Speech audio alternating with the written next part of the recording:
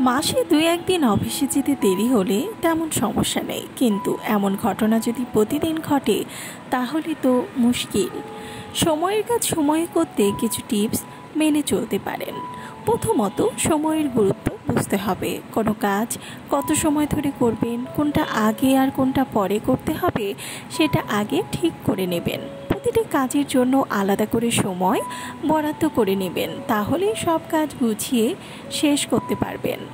প্রত্যেকটি কাজের জন্য পরিকল্পনা করে রাখতে হবে। ধরুন, যেদিন অফিস যাবেন সেই দিন ঘড়িতে অ্যালার্ম দিয়ে একটু তাড়াতাড়ি উঠবেন। হাতে দুই থেকে তিন ঘণ্টা সময় রাখতে হবে। তাহলেই দেরি হয়ে যাবে বলে দুশ্চিন্তা করতে হবে না।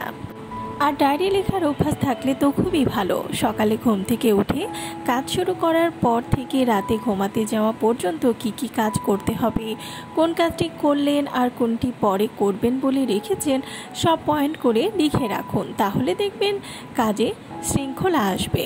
কাজ শেষ করার অভ্যাস করতে হবে। কোনো কাজই কাল করব বলে ফেলে রাখবেন না। কোন কাজের গুরুত্ব বেশি সেটা নিজেকেই ঠিক করতে হয়।